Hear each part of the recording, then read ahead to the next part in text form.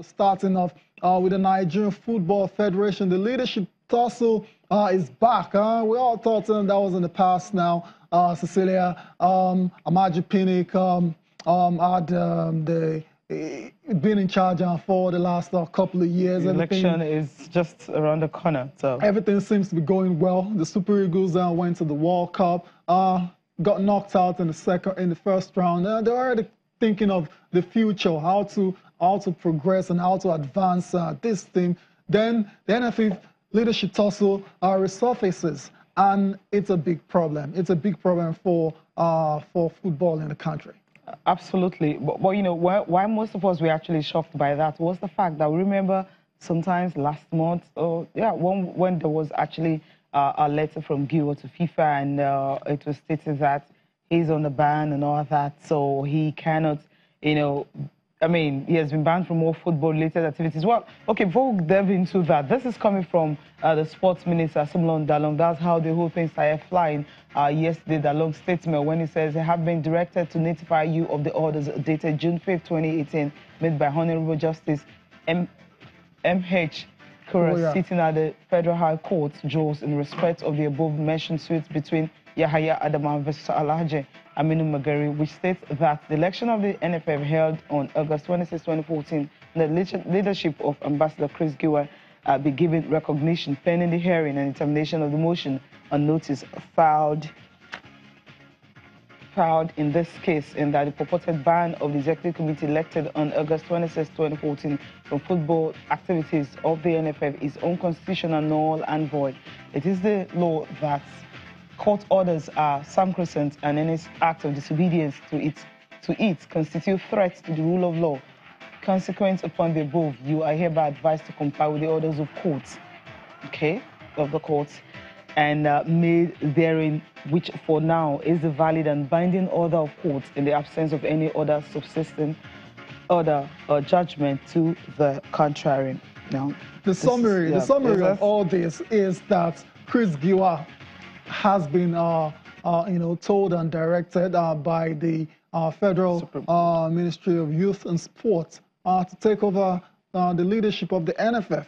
And you wonder where does that put uh, Amaju Pinnick, who's been in charge for the last couple of years. And his attorneys have, you know, reacted to that situation. Yeah, absolutely. And of course, through their lawyer, you know, the lawyer Festus. reacting to the Festus Keyamo, right. uh, saying that, you know, well, if we go through what it is, uh, what Festus Keyamo has to say is based on what FIFA is saying, because exactly. we understand Nigerian Football Federation is not an is not independent of uh, FIFA. So mm. they, I mean, everything is from FIFA, and the only court orders usually that they obey across the world has to be with the Court of Arbitration for Sports. That's mm. CAS. Now, this is what is coming from Festus Keyamo. Yeah, it's a long one. statement. The long statement. No. The summary, um... summary is that, okay, this is the summary. So, okay, so why are clients respect the sanctity of court orders? Unfortunately, the said court orders are not binding on FIFA.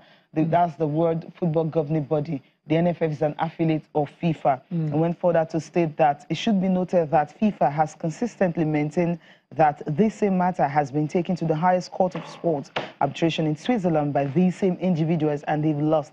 FIFA is only bound by the decision of the Court of Arbitration for Sport and does not entertain or tolerate decisions by local courts in footballing nations worldwide. And went further to say that hence FIFA has since upheld the decision of the Court of Arbitration hmm. on this matter and recognized the NFF board led by Amaju Pinnick. Nigeria has a duty to comply with that decision.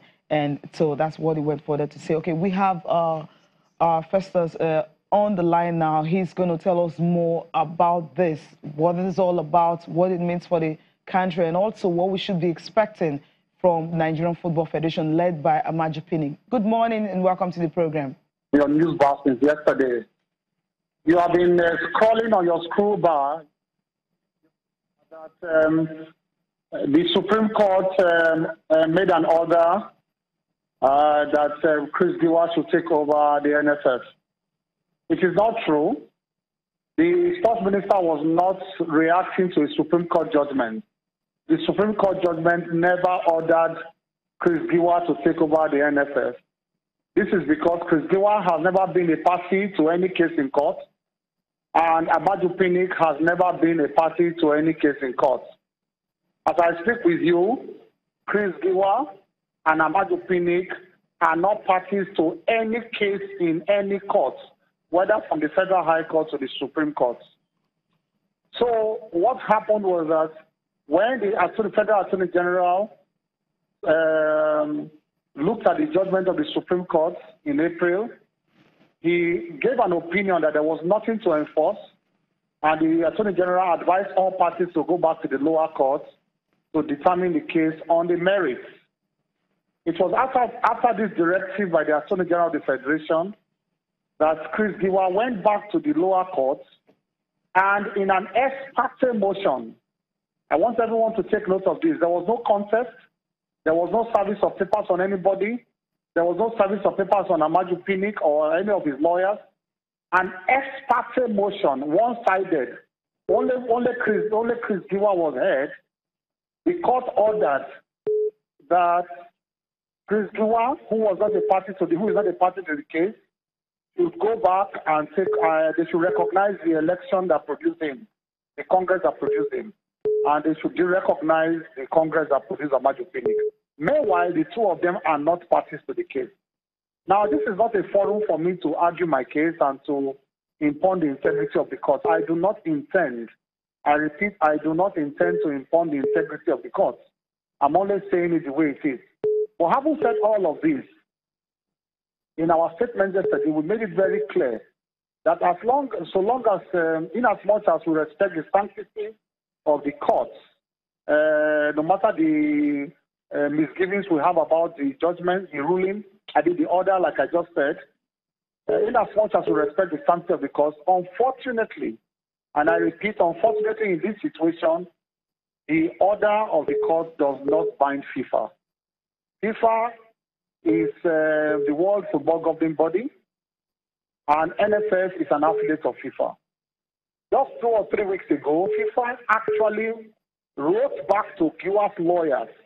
They warned, they, they warned and stressed it for the opt-in time that FIFA will not abide by any decision by the local courts because Chris Giwa had previously gone to the Court of Arbitration for Sports and lost. Giwa had lost in the Court of Arbitration for Sport, and having lost in that court, he ran back to the Nigerian court. So, in the eyes of FIFA, Giwa cannot, is not, and can never be the president of NSS. And as a consequence of what he has done and by dragging everybody to the local court, FIFA had imposed a worldwide ban on, on Giwa and his so-called board. A worldwide ban There is, they cannot participate in any football activity anywhere on planet Earth for the next five years. So I want to ask you and I want to ask Nigerians, how can such a person in his dream say he wants to be president of NSS when you are on, under a worldwide ban? How? So the ambition of one person wants to bring down the entire football house on all of us. The ambition of one man will bring down the entire football house on us. So let me tell you this very clearly and tell Nigerians that Giwa is on a journey to nowhere. He's on a journey to nowhere. It will end the way it has started. Okay, what's the role? Let me just ask you this final question before I let you go. What's the role of the sports uh, ministry here? Because according to the statement from him, he's saying that uh, the Amaju Pinnick and others are directed to comply by the uh, Supreme uh, Court judgment? Unfortunately, the sports minister has not played a very good role in this matter. He has a duty to advise government.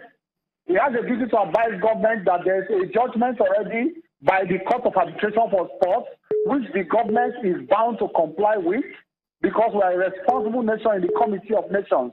So the sports minister has, has not played a very salutary role on this matter at all. All those statements he's bringing out about uh, complying, not complying, is just a smoke screen. Okay, uh, thank you very much, sir, for throwing light on these very uh, issues. We definitely want to get more updates